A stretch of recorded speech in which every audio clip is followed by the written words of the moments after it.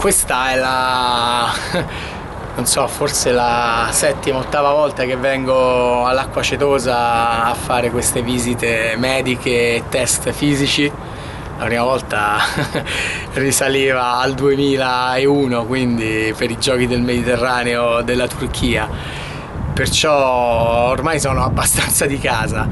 E è, è, sempre molto utile fare queste visite, soprattutto la parte di visite mediche, perché poi per chi come me inizia sulla soglia che ha già ormai 36 anni fa bene fare un, un controllino di salute, anche credo per evitare, a parte scherzi, la situazione che si è creata con il caso Pietro Sibello per le Olimpiadi di Londra quindi controllare prima, prevenire è meglio che curare, ecco questo è il discorso. E sono analisi estremamente interessanti, fanno veramente uno screening totale della persona e dopo queste analisi siamo almeno tranquilli di essere sani e in buona costituzione, ma veramente. È uno sforzo economico non indifferente, quindi per la federazione, per il CONI,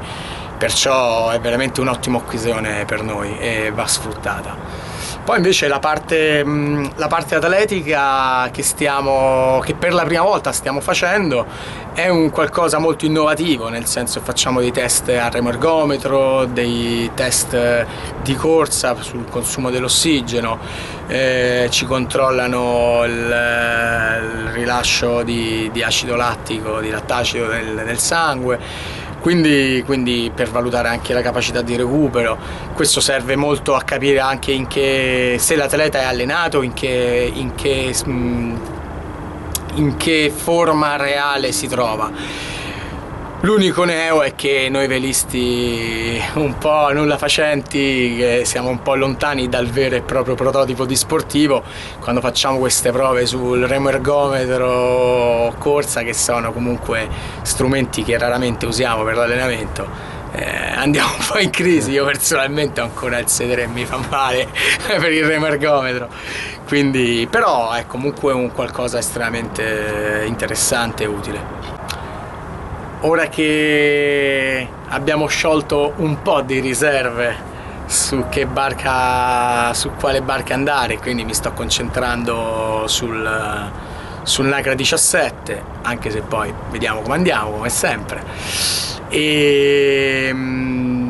l'allenamento, cioè inizio a pensare un po' ai parallelismi che ci sono no? tra il 470 e il NACRA per cercare in maniera multi, multilaterale, interdisciplinare di, di, portare le mie conoscenze del 470 su questa nuova barca che per me ancora è nuova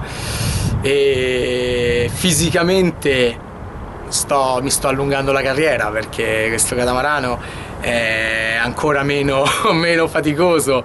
del, nel ruolo chiaramente del timoniere, mentre per il prodiere è comunque una bella barca impegnativa. Però per il timoniere il catamarano è estremamente leggero, non è una barca faticosa, eh, serve più che altro destrezza più che, e molta attenzione, più che forza o, o resistenza. E poi soprattutto il 470 ultimamente con il pompaggio libero che è sempre più frequente perché i limiti di, con cui si usa il pompaggio libero di vento, i limiti di vento con cui si usa il pompaggio libero sono sempre eh, più, eh, più bassi, quindi si pompa praticamente sempre, diventa una barca un po' più faticosa anche per il timoniere, per il prodiere è proprio diventata una galera, e, ehm, però anche il Nagra non scherza, il prodiere deve fare eh, parecchia fatica, un'issata molto impegnativa, la scotta del Genneker tira, tira parecchio, anche la scotta Randa è abbastanza dura, quindi e soprattutto considerate che consideriamo che il Nacra è un equipaggio misto, quindi nel mio caso in cui eh, la povera Giulia deve fare issate, ammainate e portare il Genneker, eh, per una donna è, è abbastanza impegnativo. E, um, Giulia Zappacosta è la mia nuova prodiera e abbiamo deciso di unire le forze, lei faceva il timone su, su un altro Nacra con Edoardo Mancinelli, poi siamo tutti romani, poi Edoardo è dovuto andare a lavorare e lo ringrazio e quindi si è presentata questa bella opportunità eh, per cui abbiamo iniziato ad, allenarsi, ad allenarci eh, un paio di settimane fa. Eh, Giulia si è appena laureata quindi mm, adesso si può dedicare allo sport della vela un po' di più, cioè un po' di più, a tempo pieno praticamente ed è quello che io le ho chiesto. E è quello che stiamo facendo. Siamo chiaramente di nuovo all'inizio però in barca abbiamo, già ci siamo andati, eh, quindi adesso non bisogna fare sempre la lagna del eh, ma stiamo all'inizio, no, adesso in barca, la barca la conosciamo abbastanza bene, abbiamo già fatto un anno di esperienza, bisogna mettere solamente le cose a punto e ci stiamo preparando per il primo appuntamento di Coppa del Mondo a Miami,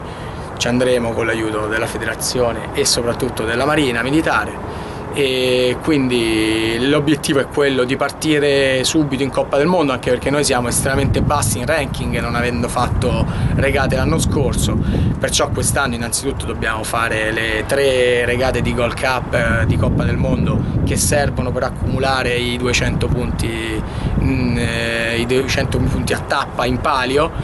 e faremo anche le regate di Eurocup perché eh, sono anche quelle molto importanti per salire nel ranking e speriamo quindi con, queste, con questa attività di arrivare in forma per il